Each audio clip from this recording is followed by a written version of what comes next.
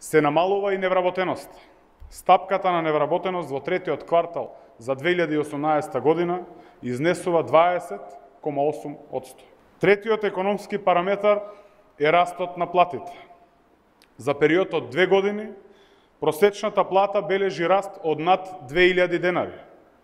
Тоа значи повеќе пари за работниците, повеќе пари во семејството, повеќе пари за сите граѓани. Паралелно со растот на платите, растат и пензиите. Просечната пензија во 2018 година е за околу 1400 денари повисока во однос на просечната пензија во 2016 година.